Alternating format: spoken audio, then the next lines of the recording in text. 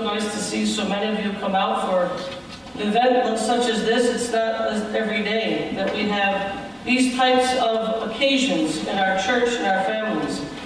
I want to particularly acknowledge and be thankful for the presence of my brother priest, Father Stanley Aksamit, pastor of Our Lady of Peace in Turners Falls, and Father Bob Poonen, pastor of Our Lady of Grace in Hatfield. Thanks for being here, guys. In May of 2017, we will celebrate the 100th anniversary of the apparitions of our Blessed Mother to three small children in Fatima, Portugal, Jacinta, Lucia, and Francisco. She appeared to them several times with a very powerful message, and we're blessed on this occasion to have the pilgrim statue of Our Lady be with us this evening. I want to thank the custodian of the statue for bringing her here today and being with us this evening.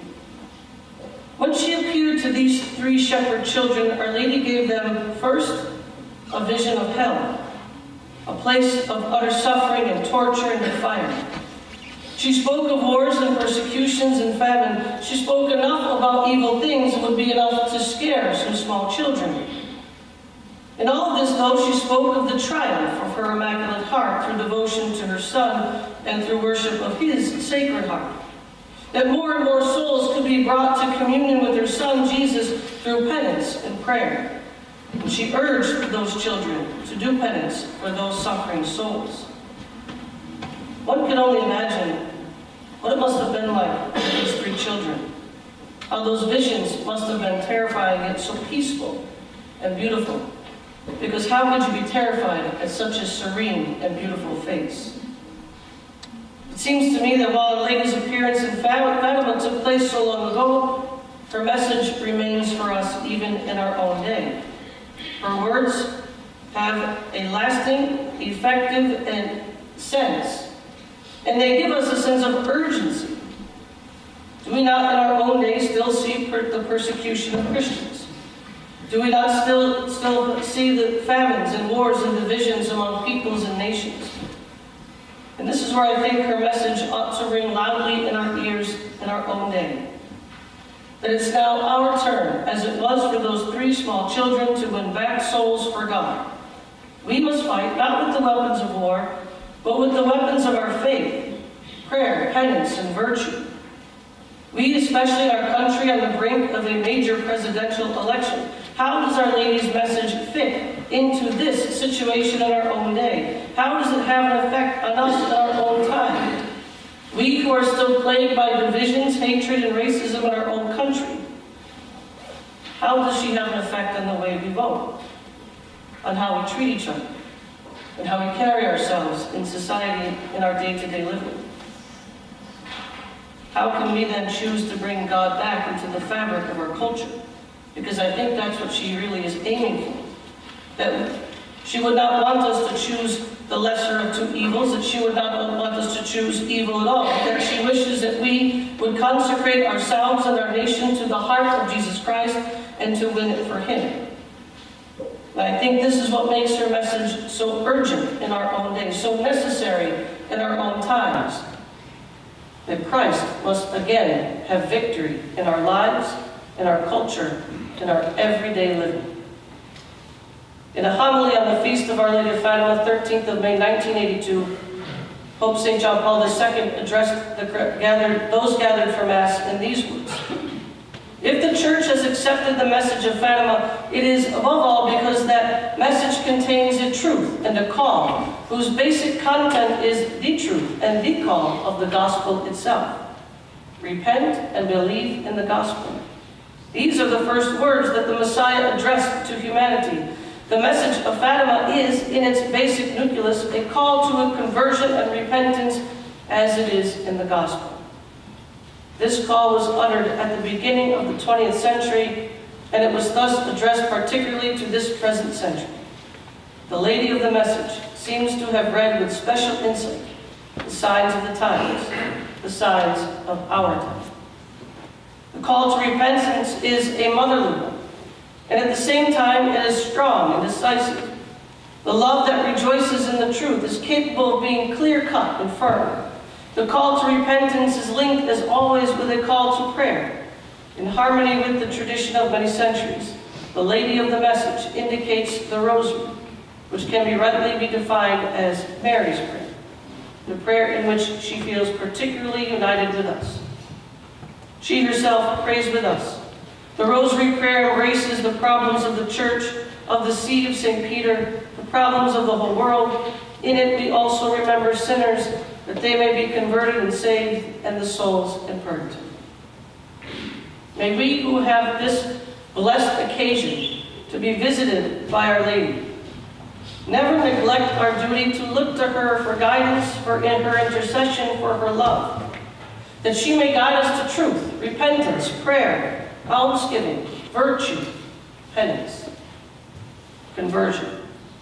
May we echo her faithful hymn of yes every day of our lives, following in the footsteps of her Son, following in her footsteps, path that is unknown, uncertain, but yet trust in the loving embrace of the merciful heart of our Savior, that He in the end will have the victory over all our sufferings.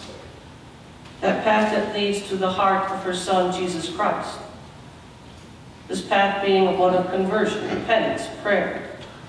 A path that seeks inner conversion of our own souls, and by doing so, helps others find their way to God as well.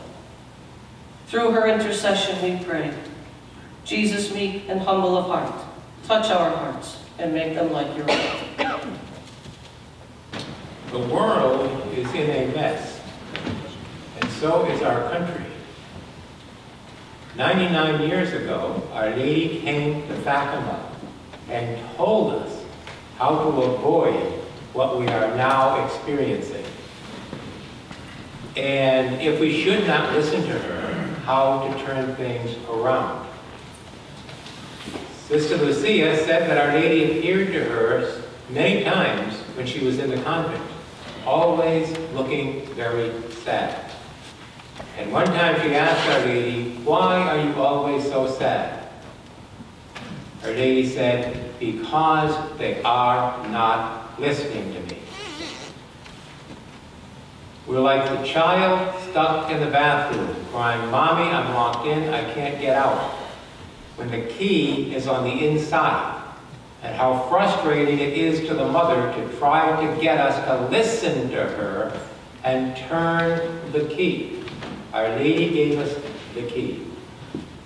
In 1916, during World War I, Pope Benedict XV asked all the children in Europe to go to Holy Communion and offer it up for peace.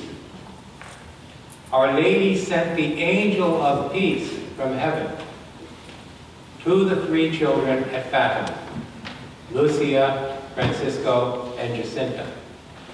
And he gave them Holy Communion. Jacinta and Francisco received their first Holy Communion from an angel. He told them he was the angel of peace. And he told them that in order to bring peace, we must fulfill our responsibility to convert sinners, chiefly by praying for them every day and by making sacrifices to repair the damage done by their sin, to make sacrifices of reparation for their sins. The angel gave us a prayer to say every day. Oh my God, I believe, I adore, I hope, and I love you. I beg pardon for those who do not believe, do not adore, do not hope, and do not love you. That he asked everyone to say at least once every single day in fulfillment of our mission of spreading God's mercy all over the world to renew the face of the earth. Remember, when Jesus ascended into heaven, he said, have courage. I've, overcome the world. He didn't then say, sit down and I will convert the world. He said, go forth. He sent us to convert the world. Not just the priests and the bishops and the religious. Everybody, all baptized Christians. Second Vatican Council taught that very precisely. Every one of us. has a mission to bring souls to heaven. So Sister Lucia asked the angel, how do we make sacrifices of reparation? He said, first and foremost, he said, offer everything up. First and foremost, most importantly, stop complaining about your daily crosses. Accept them and offer them up to the Most High as reparation for the sins which are offending Him. Jesus said, take up your cross every day and follow me. Every day. The cross is every frustration, every irritation, every difficulty, every ache and pain, everything that goes wrong during the day is our cross. We all know we have guardian angels. Why doesn't the guardian angel prevent us from suffering? Because Jesus suffered. You know, we have a tendency when we're suffering, especially if we're suffering a lot, to say, Why me? What have I done? What did Jesus do? Nothing. We are united to Him through baptism. Even more through Holy Communion, strengthened, so that we receive from Him the power to fulfill our mission of converting others by praying for their conversion and by doing their penance for them. Pope St. John Paul II said that. He said the message of Fatima is more important today than ever. And he wrote, after he was shot and suffered a lot from his wounds, he wrote a meditation on the Christian meaning of suffering. And he said that when God came to earth and suffered, he transformed suffering itself so that those united to him through baptism could offer their suffering for others. He said, if we have a loved one who's not living a good life, it isn't enough to pray for them. We need to do their penance for them. We get to go to confession and then do our penance given to us by the confessor. But if somebody is living a bad life, they're not going to confession, or they're not making good confession. Somebody else has to do their penance for them. And this is God's plan, that the children of Adam and Eve would restore the order that they destroyed. But it's impossible for us to do it alone, so God became man, transformed suffering and death, and then instituted baptism to unite us to him in such a way that his suffering is channeled through us. So he said, take up your cross every day and follow me. And St. Paul says, I make up in my body what's lacking in the suffering of Christ. He didn't mean that Jesus was too weak. What he meant was that Jesus is channeling his suffering through us so that we will share in the mission of undoing the damage done by Adam and Eve, our first parents. Very fitting. God every day, always does everything in a fitting way. He didn't just ignore original sin and forgive us anyway. He became man and paid the price, which we couldn't pay. He didn't then go out and convert the world himself. He put that on our shoulders. Helps us, he travels with us, he gives us the powers. But he expects us to use it.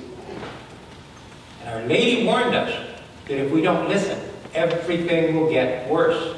Suffering and turmoil and war will just increase if we fail to fulfill our responsibility to convert sinners. Because the war and trouble is caused by those who don't love God and their neighbor. Our job is to bring down God's mercy upon them in order that they will change, love God and their neighbor, and then they will stop doing bad things. And that will bring us the measure of peace that is possible in a fallen world wounded by original sin, which is a whole lot better than what we're suffering right now, which is man-made suffering. We have to get rid of that. And we haven't been listening to her. Well, the next year, Sister Lucia said from that point on, they hadn't yet started making sacrifices. They just paid attention. everything that went wrong during the day, everything they didn't like, they accepted it and offered it up as the cross, united to the cross of Jesus.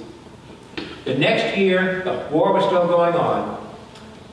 Pope Benedict, on May 5th, wrote a letter to the church saying he was inserting the petition, Queen of Peace, pray for us, into the Litany of Loreto.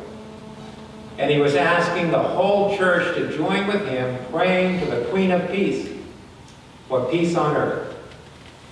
On the ninth day, May 13th, Our Lady came down from heaven and appeared in the Cove of Peace in Fatima. She was answering the prayers of the Pope, united to the whole church. For her help, Sister Lucia said the most important request of Our Lady was the very first thing she said. Are you offering up your suffering as reparation for the conversion of sinners? Very first thing. And that's the thing that we're only now beginning to wake up to the importance of. Which is why millions and millions of rosaries prayed in response to Our Lady's request for rosaries. Undoubtedly saved us from much suffering, but didn't make things better. Things have continued to go downhill over the last 99 years. Because the rosary is the prayer part. Holy Mary, Mother of God, pray for us sinners. O my Jesus, forgive us our sins and save us from the fires of hell. Our Lady made it very clear we cannot ignore the, the penance, reparation part. And the angel of peace explained it. The most important thing we can do, we can make sacrifices, and that's important. But St. Teresa of Lisieux, the little flower, explained why the most important sacrifices we can ever make is the sacrifice of our will, by accepting the suffering that God allows us to go through. For heaven's sake, God could prevent it. Why doesn't he? Because he didn't prevent the suffering that Jesus went through. Even when Jesus asked him that the cup might pass him by, but not my will, but thine be done, we become Jesus, his mystical body, through baptism. And therefore, we are expected to participate in the passion down until the end of the world in order to bring God's mercy on the world. Could have done it otherwise. He wants to bring his mercy through the children of Adam and Eve, working with Jesus and the power that he gives us. So we will have the credit of having restored the world, which is much better than if he did it without us. He could have done it otherwise. That's how he chose to do it. And so Second Vatican Council speaks about this, the mission and responsibility of each baptized Christian to participate in the spiritual warfare. We forget, we were born into a spiritual battlefield against the devil and his angels. And we're baptized into that battle to participate. We're all soldiers in that battle, to participate. Simplest thing everybody can do, the least everybody can do. Pray for sinners. Stop complaining about the things that go wrong during the day. Sister Lucia said we need a radical conversion in the way we look at suffering. We have to recognize what it's for. If we're in the state of grace, it's for converting others. It's for imitating Jesus, carrying our cross, so that his power is channeled through us because he doesn't want to do it by himself. He wants us with him in the battle. Our Lady said tell everyone, when you offer your suffering, offer it for love of Jesus, for the conversion of sinners, and as reparation for sins against the Immaculate Heart of Mary. And she promised that if enough Catholics would listen to her and do what she asked, many would be converted and there would be peace.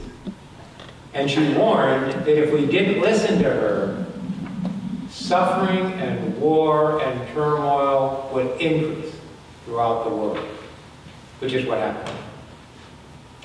So, the children said nobody believes us.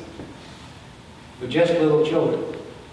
Our Lady said, tell everyone to come in October, and at noon on the 13th God will work a miracle to prove that this is true. And that's important because if we're going to take heart and be motivated to do this, we have to first believe that this is real. So Our Lady said, God will prove it. The newspapers made fun of the children and of the people who believed the children. They said there is no God. There's not going to be a miracle. What are people going to do at the end of the day when nothing happens? 70,000 people came to Fatima, and a bunch of newspaper reporters from different papers were there to record what the crowds would do with their disappointment at the end of the day. News story. But the miracle happened. What the miracle was, was a vision of the end of the world. That point had been largely missed. It looked like the sun was plunging down to burn up the earth. The newspaper reporters fell on their knees, screaming to God for forgiveness. Thousands of people were screaming out their sins in public, begging God to forgive them because they thought it was the last judgment. And God gave us another wonderful grace. Some of the people interviewed after the miracle of the sun said they were filled with joy and excitement about going to heaven. Because they believed in heaven. It was real to them. They wanted to go, and they were living good lives. So God was showing us that if we have that attitude, we can expect to get special grace on our death, not to be afraid. I had the great grace to experience that with both my parents. My mom passed away in 2004. My dad last summer, a year ago. And they both went with great joy, right up to the end. My dad took him six weeks from when they thought he was, going, he was dying until he finally died. And he was just looking forward every day to his last breath so he could get to heaven. Let everything else go. His life was over. He lived a good life, raised eight kids, some 40 grandkids. Time for him to move on, and he couldn't wait to move on. So proving to us that what God was showing us at Fatima at the miracle of the sun is still operative. Pray for the grace to believe in heaven and to want to go there and to live worthy of going there. And then don't worry. God will give us the grace. But what are we going to do to save our country? In 2005, Pope Benedict, following the will of Pope John Paul II, elevated the Blue Army to official status as the World Apostolate of Fatima, the official arm of the Catholic Church to spread the message of Fatima all over the world. Our job is to motivate the laity, under the Pontifical Council for the laity. Motivate the laity. Teach the laity what Our Lady asks. Motivate the laity to do it so that we can bring down God's mercy more effectively, more quickly, more powerfully upon the world. We're 99% of the church. We need, a church needs our power. And so, in the United States, we've got a beautiful shrine down in uh, Washington, New Jersey, if you ever get a chance to go down there. Absolutely beautiful shrine to Our Lady of Fatima, the best Fatima shrine of Our Lady in the country. And we made a prayer card with a picture of our beautiful statue on it, and on the back, the prayer the angel gave us to say, My God, I believe, I adore, I hope, and I love you. I beg pardon for those who do not believe, do not adore, do not hope, do not love you. And the offering Our Lady asks us to make. Like Jesus, I accept and bear with submission. Whatever crosses God permits in my life today, for love of you, for the conversion of sinners, and as reparation for sins against the Immaculate Heart of Mary. This is not asking God to send us more suffering. This is offering Him the suffering we're going to go through anyway. Anyway. Don't waste it. Doing more suffering asking God to send more, that's a matter of God's grace touching our hearts. What we're asked to do is not waste the suffering that we go through, that our guardian angel doesn't protect us from, because he's required to allow us to have a cross every day, or we couldn't carry it, as Jesus asked. It's caused by original sin. It's allowed by God so we can participate. It's a privilege to participate in the passion of Christ. So, if you don't know the story of Fatima, we have a table out here with the book written by Sister Lucia. They were just short visits. Doesn't take long to read it. Get it and read the story, and then pass it on. Don't put it away. Tell the person you give it to not to put it away, pass it on. Keep it going. Circulate the books around the parish. Restore to your parish the memory of what happened in Fatima. And then tell people about, you see it in what Our Lady said, the need to offer our prayer and our daily suffering. These two little prayers make it very simple. It only takes about nine seconds to say the two prayers. When your eyes pop open in the morning, before you even get out of bed, make the sign of the cross, say the two prayers. Start your day. And then try when bad things happen to remember to offer them up. The end of the day, try to think through if there were any bad things that you forgot about, complain about, offer them up then. Our suffering is powerful. Let us start using it and restore to our country, through God's grace, respect for the Christian faith. We have Our Lady's promise if we would just do what she asks. So we have down here next to Our Lady and in your pews, more toward the front, a pledge to Our if you wish to make it, that you will do your best to remember to say the prayers every day and to offer your suffering when it comes. Just that you will do your best. And we have 65,000 American Catholics that are now doing this, that have made the pledge to Our.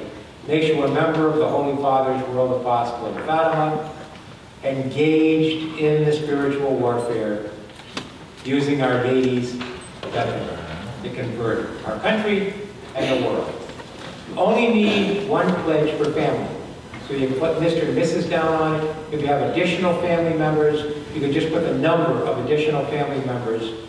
Got the prayer cards in my pocket when you come down to venerate Our Lady. You can give me the, the pledge and tell me how many prayer cards you need for your family. I'll give you one for each family member who needs it. And together we'll increase our number to 100,000, to 500,000, to a million, and we will see God's grace active in our country when we do this. Thank you very much. God bless you. You are welcome when you venerate Our Lady to bring down religious articles, rosaries, and so forth. We follow the custom that we brought from Fatima of touching things to her mantle and asking her to bestow the special graces of the shrine in Fatima on all who use these items that have been touched to her mantle. And even the Bishop of Fatima said, even those who just venerate this image will receive, he begged Our Lady to bring all the graces of Fatima to those whenever they venerate this image to receive the same graces they would get if they were venerating her image in Fatima. Thank you very much. God bless you. All right. In the name of the Father, Son, the Holy Spirit, amen. This month, we're celebrating an historic event. We're studying and celebrating a great miracle, a miracle that science has been unable to explain, but a great miracle that God has given us to make a point. Here's what happened 1917. 1917 in Portugal, in an out of the way village by the name of Fatima, Fatima, Portugal. Three children have had an unusual experience. For the past few months, they have been having a series of visions and apparitions of the Blessed Virgin Mary. And the Blessed Mother coming down from heaven, invisible to everyone but those three children, has given them a message for the world, a message that can affect our future, that has in fact affected our history that we are living right now. These three children, illiterate, uneducated, living in this out of the way place with no knowledge of what's going on, are experiencing an amazing event. They are told in these visions that at the end, the last vision, there will be a great miracle. Now, here's what's happening. Over the month, over the last few months, when the Blessed Mother has been appearing, more and more people are coming. They want to see something. They want a sign. They want a miracle. And they hear that the last day there will be a miracle, a great miracle. Now, there are a number of problems that exist. First of all, Portugal at this time is anti Catholic, it's communist, it's anti clerical. And they, the government, is upset with the fact that people are gathering for a religious event in such great numbers. They try to eliminate it, they try to stop it. There's nothing they can do. The people keep coming. And then they realize that on the last day, the day of this supposed miracle, something's going to happen. The people will be enraged, they will riot, there will be a disaster. So they have a problem on their hands. They don't know what to do. Here's what happens. On this last day in October, 1917, the 13th of October, it's been raining. It's been torrentially raining for a week. And yet, people are coming.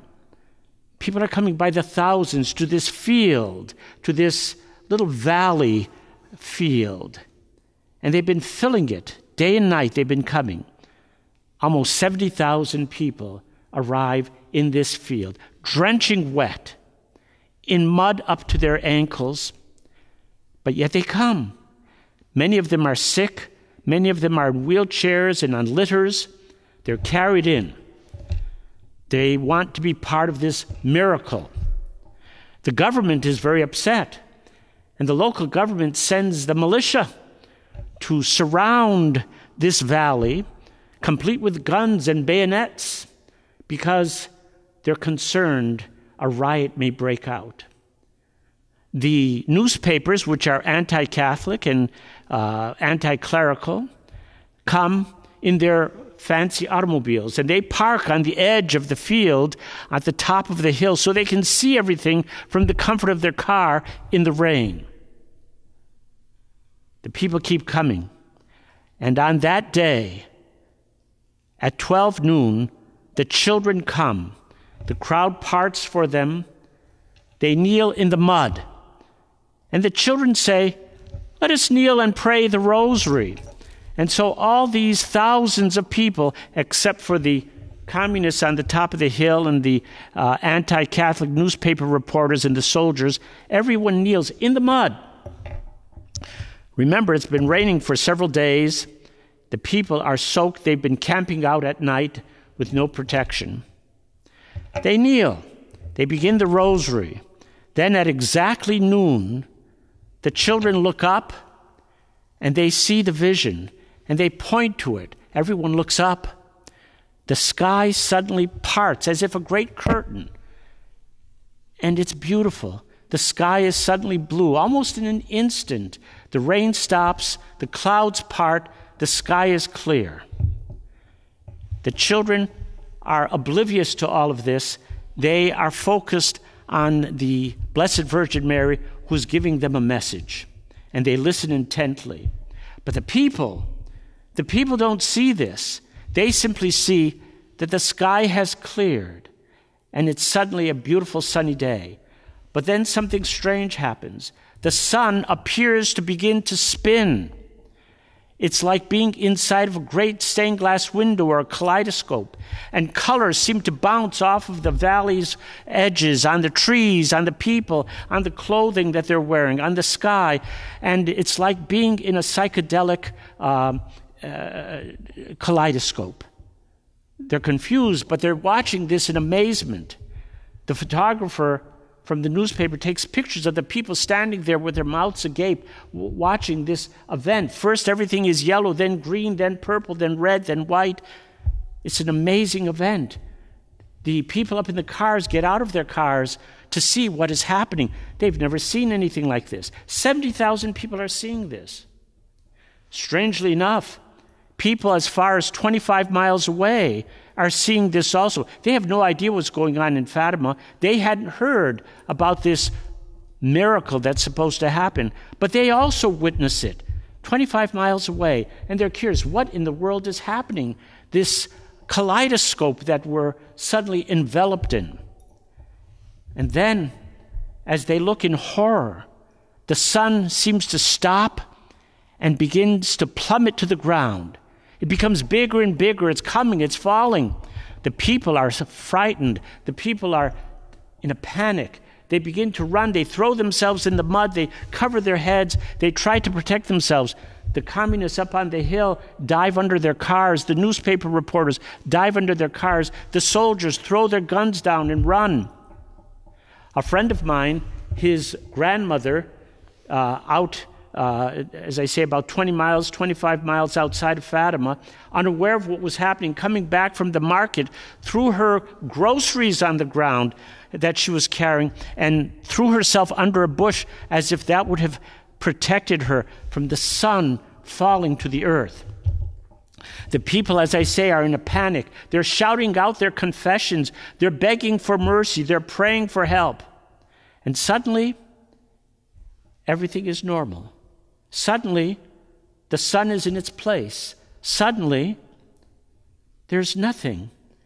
There's simply a clear and beautiful day. But the people notice something. First, they're perfectly dry. Their clothes that had been drenched from being out in the rain for several days, camping out, perfectly dry. The ground is no longer muddy, it's perfectly dry. The paralyzed person over there in the litter is standing up. The blind man over there suddenly sees. The, the sick have been healed. The communists crawling out from under their car with their mouths agape. The newspaper reporters writing down exactly what they see. This astounding miracle. And the strange thing is that scientists today say that for all of that to have happened, that is, for the clothing that was drenched from the mud uh, five, six inches deep, for all of that to have been dried in an instant would have required an amazing degree of heat to the point where the clothing would have burst into flames, the people would have been scorched and burnt. But that didn't happen. Strangely, everything was dried. So it was a, an astounding miracle, a miracle that people saw, this strange event with the sun, this solar event, their clothing drying in an instant, the ground drying, and the crippled, the deaf, the blind, the sick healed in an instant. The communist newspaper wrote and described this event. And it was kind of an amazing thing to pick up the newspaper the next day, a communist newspaper, an anti clerical newspaper. The headlines said simply, miracle. In big headlines, big letters, miracle. And they reported exactly what had happened. Of course, they got a call very angry from Lisbon. What are you doing? Why are you proclaiming a miracle? Why are you supporting the church? The editor simply said, We reported exactly what we saw. We didn't make anything up. It's what we saw. It was a miracle. It cannot be explained. And that's exactly what happened a hundred years ago this month in Fatima, Portugal. Now, you have to ask yourself a question why would God permit such an event? Well, you have to ask yourself why does God allow miracles? And what really are miracles? Well, first of all, a miracle is something that is beyond scientific explanation. They cannot be explained, they should not happen. For instance, a blind person suddenly being able to see. That should not happen. There should be some physical intervention, but there isn't. That blind person can see. That's a miracle. This solar event should not have happened. There's no explanation for it. It should not have happened. A miracle. So, why does God allow this? And more, why does God allow a miracle there, but not there? A miracle there, but not here? Why? What is the purpose of a miracle? Well, first of all, God allows miracles for no other reason than to remind us that He exists. A miracle is sort of like a nudge, kind of uh, poking us to say, I'm here, I exist, and here you have proof of my presence in your world. I am here, and I do this not only to cure that person, not only to uh, have that happen, not only for this event, I do this to remind you that I love you. That's one sign of a miracle, one reason for a miracle. But there's another. Oftentimes, God will allow these miracles to make us aware of a particular message that He wants to give us. Now, at Fatima, Our Lady presented a message for the world. It wasn't a message for a few people, for a community, or for a group. It was for the world. And so the miracle had to be outstanding to attract the attention. 70,000 people witnessed it. It had to be something spectacular. There was a message that was meant for the world. And so that miracle was kind of like a uh, certificate of proof. I exist, and here's my message. What was the message at Fatima? Well, there's a rather involved message, but here's something else to be aware of. Our Lady gave certain prophecies at Fatima. Now, here's something that's interesting. We are talking about the historical miracle of the sun, the solar event, the healing, the uh, immediate drying of the, the clothing, and so on. That was there. But Our Lady also promised and prophesied, and that's something that you and I have witnessed. We have seen a miracle also. Let me explain. Our Lady at Fatima promised that if her request for prayer, penance, and conversion were not met, that the Russians would infect the world with their error, that the Russians would enslave nations. Now remember, this happened in 1917. Think of this 1917, the Russian Tsar was shot, his family was murdered. World War I was in progress, and Russia was on the losing end. They weren't doing well. The, the revolution had taken place. Russia was in complete chaos. The thought that Russia would have such influence and power so as to enslave nations and to inflict its error on the world was not a possibility. It was not something that could possibly have happened those looking at history in that day and age would have simply uh, ignored that message.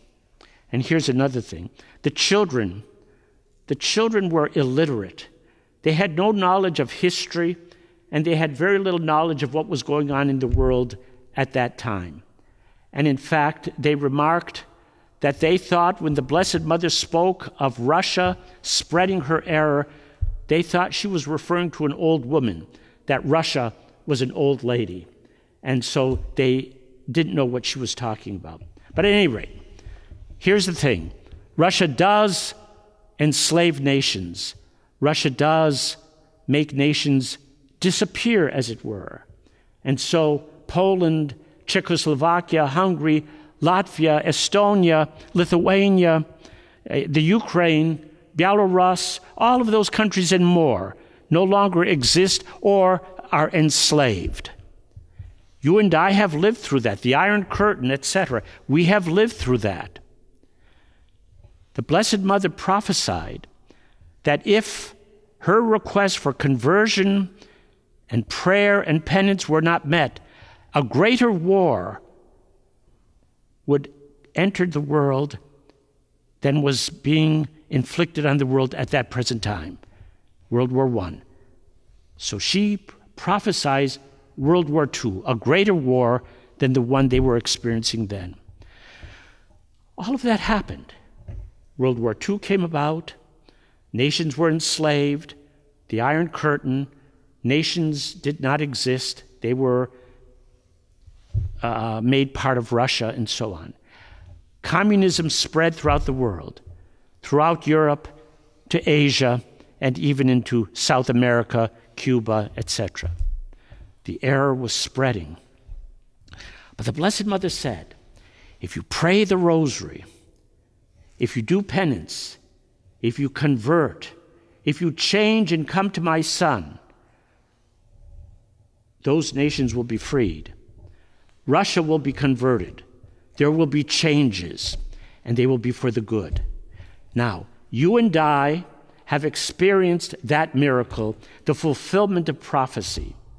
Do you remember when Russia suddenly, suddenly, overnight, was no longer communist? I remember seeing that in the paper and thinking, how can this be? Not a shot was fired. There was no revolution. Suddenly, communism ceases to exist. Russia is no longer a communist power. Poland is free, something that we prayed for as children in our Polish church, that Poland would be free again. Poland is free. Czechoslovakia, Hungary, these countries are free. And suddenly, countries that never existed in our lifetime, Estonia, Latvia, the Ukraine, Belarus, and others, are suddenly back on the map. They had not existed, they were freed without a shot being fired. Our Lady predicted that, and you and I have lived through that event. That's an amazing thing to consider. Now we have to consider what does our Lady tell us that we have to do? What changes do we have to make? Well, one of the interesting changes or one of the interesting requests she makes is for modesty. Modesty. She says that fashions will offend our Lord. Certain fashions will offend our Lord. And I remember at one point eh, when I was much younger reading that, and I thought, in 1917, most people dressed very, very completely. Most women wouldn't even show their ankles, let alone anything else. Their dresses came up to their necks. Men would be wearing a, a jacket because it was considered improper for a man to expose his shirt sleeves, let alone anything else. And yet, Our Lady is saying at that point that certain fashions will be offensive to God. And of course, we see that today because certain fashions certainly can be and certainly must be offensive to God because they are so provocative. That's one thing that she talks about. She also talks about the fact that if we pray the rosary daily, we will make a change. How can that make a change? The rosary is only a prayer, but it's a unique prayer. The rosary is a unique prayer. It is a series of prayers and meditations. When we pray the rosary, we meditate and put ourselves in the presence of God. We meditate on the very life of Jesus Christ and Mary. And so we unite ourselves spiritually with Jesus during the prayers of the rosary. So if we learn to say the rosary properly, we will affect a change on ourselves, and in changing ourselves, we will then be able to change others. So Our Lady is asking for prayer and penance and conversion. If we do the rosary, if we learn the rosary, if we pray the rosary, we will affect that change in ourselves, and then we will be able to affect a change in the world. And so uh, this is one of the requests of Our Lady. So we're asked to be modest in our appearance so that we do not cause others to sin. We are asked to pray the rosary daily so that we can be completely united with God and one with God. We are asked to um, affect a conversion on our life, that it is more in union with God's way. And in doing all of that, she says that we will have a period of great peace. A period of great peace. Well, that hasn't happened yet. But we haven't been fulfilling all of the requirements. But remember this Our Lady promised a number of things, and she has already fulfilled them. We are waiting now for the fulfillment of that period of peace. And that will only be affected when we begin to fulfill her request more so. And so, the miracle was a great reminder, a nudge. God exists, God loves us, and He has given us a message through His mother to change the world. We can do that. And with the rosary, we can affect that. With Mary's help, we can affect that. This beautiful image right here, by the way, is a representation as the children saw the Blessed Mother in that vision. They saw her completely dressed in white. They saw her standing over a shrub, a, a, a kind of a what they called a holm oak uh, tree, a little tree, and uh, they saw her uh, enveloped in light. When she came, she was, as it were, in a ball of light. They saw her, they heard her. In those visions, by the way, they also saw something very unusual. At one point, the people, as they were watching the children, saw the children scream and pull back. The Blessed Mother gave them a terrifying vision at that moment. What do you think it was? It was a vision of hell. They saw the actual existence of hell. And they said they saw the souls dropping into hell like snowflakes in a blizzard. Can you imagine that? So many people going to eternal condemnation. Here's an interesting fact Saint John Bosco had a vision also, and he saw a vision of a beautiful pathway slowly descending, roses and flowers on either side. The highway was very wide. And he noticed that at the very end, there was a great abyss. And then he noticed people coming down the hill on this highway. But they were running. They were running. He tried to stop them, to hold them back, but they would not be held back.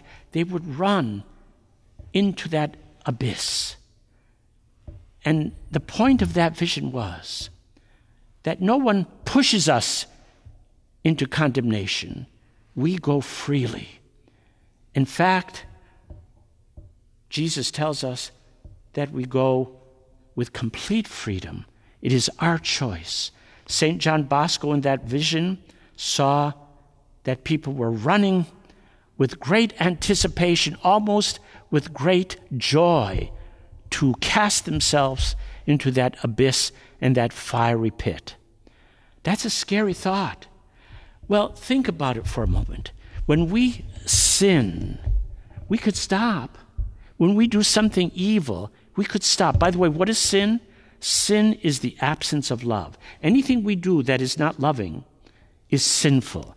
If I lie, if I gossip, if I uh, hurt someone physically or, or, or, or uh, mentally, if I do anything that is harmful to myself or to others, that's, uh, that is unloving, that is sin. But you will find that sin is addictive, and we repeat and repeat and repeat.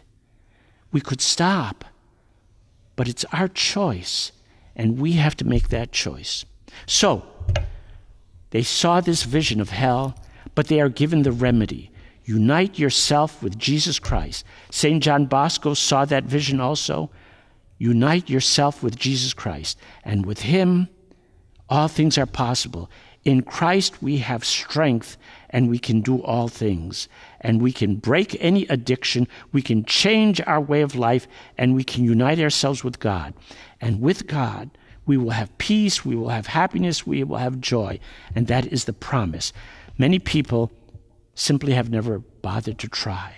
So, Our Lady is telling us, please, come to me, and I will lead you to Jesus.